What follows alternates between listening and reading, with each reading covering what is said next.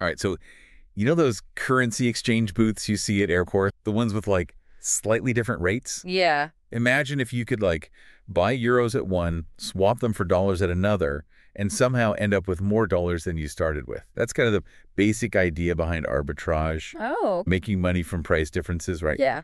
That's what we're diving into today. Cool. But instead of cash, we're talking about tokens okay. on decentralized exchanges, specifically Uniswap v2. Oh, nice. You sent over some fascinating research on a new algorithm for finding these arbitrage opportunities. Thank you for tuning in to Quantopian's Quant Radio, your AI driven podcast exploring everything related to quantitative finance.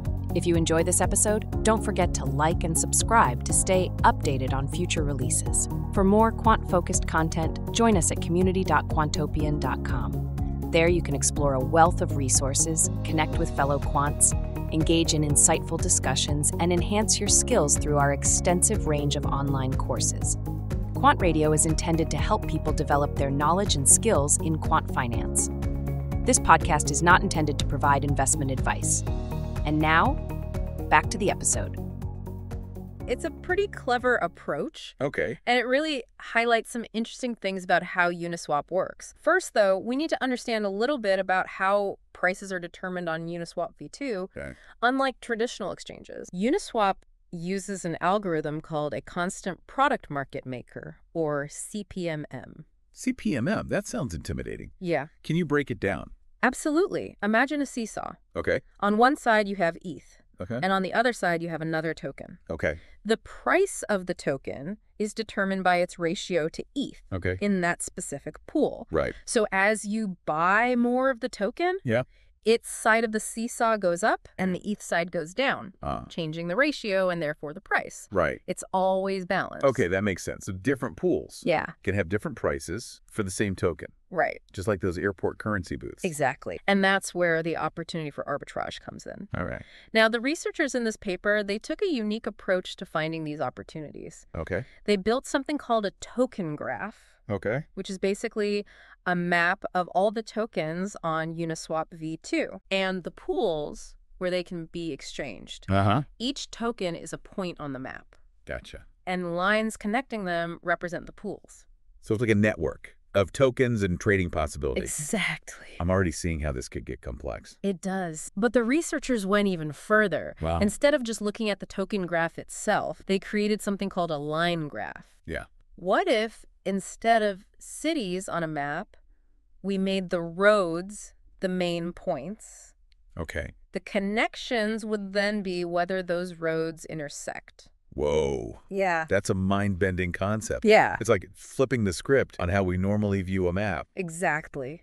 But I'm curious, why would they do that? That's where it gets really interesting. Okay. By shifting the focus to the trading routes instead of just the tokens, they could apply a modified version of a classic algorithm called Moore-Bellman-Ford. Think of it like Google Maps. It helps you find the shortest route from point A to point B. Yeah. In this case, though, the algorithm is looking for the most profitable trading route through the line graph, the one that yields the most profit from those price differences. So it's like Google Maps for arbitrage hunters. Exactly. That's brilliant. And did they actually find anything? They did. Okay.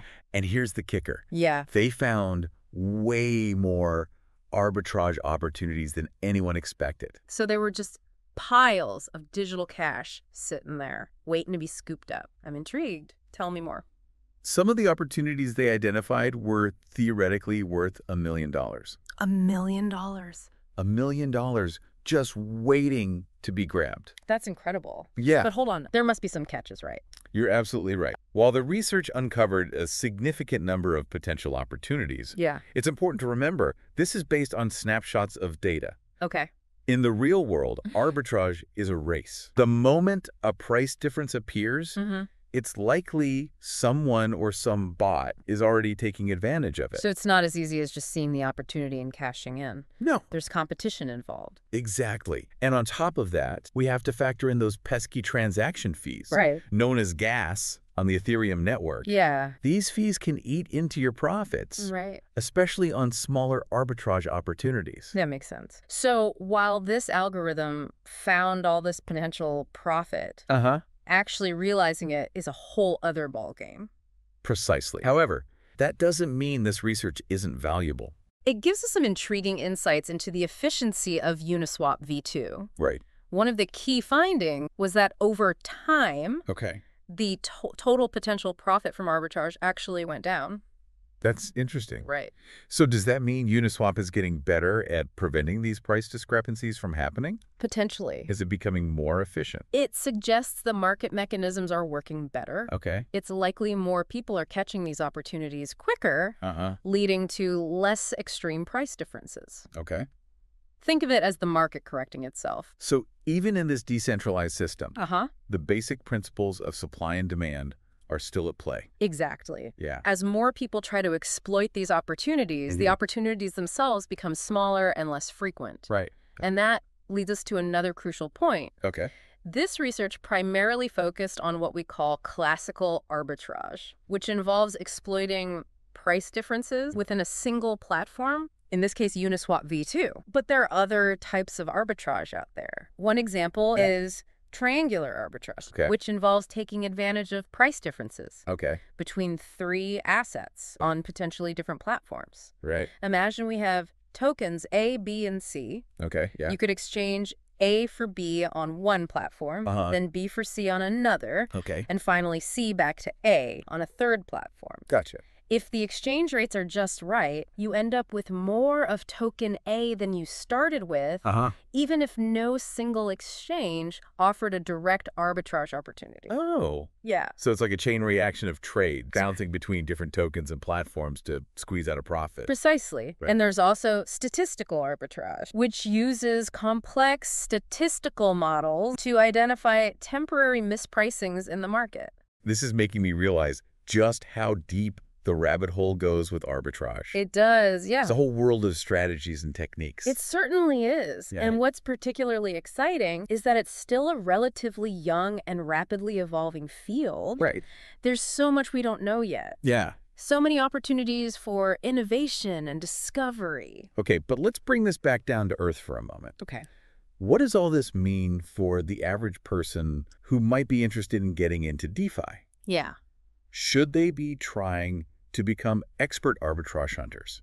That's a great question, and one that deserves careful consideration. Yeah. While the potential rewards of arbitrage can be tempting, it's crucial to understand the risks involved. Right, like those gas fees we talked about. Exactly. And I imagine you need quite a bit of technical knowledge to even spot these opportunities in the first place. Exactly. Arbitrage is a highly competitive field. Right. Often dominated by sophisticated bots and experienced traders. For someone just starting out, it's important to approach it with caution and do thorough research before committing any capital. Yeah, that makes sense. However, that doesn't mean this information isn't valuable for the average person. I see what you mean. Yeah. Even if I'm not ready to become an arbitrage pro, Yeah. understanding these concepts is still key to navigating the world of DeFi. It is. It's like learning the rules of the game, Yeah. even if you're not playing at the highest level. Couldn't agree more. Knowledge is power, Right. especially in a space as dynamic and complex as decentralized finance. This whole conversation has been really eye-opening. I always find it invigorating to delve into these complex topics Uh-huh. and uncover the hidden intricacies of the financial world. I have to say, I'm a bit blown away by the fact that this research uncovered so many arbitrage opportunities on Uniswap v2.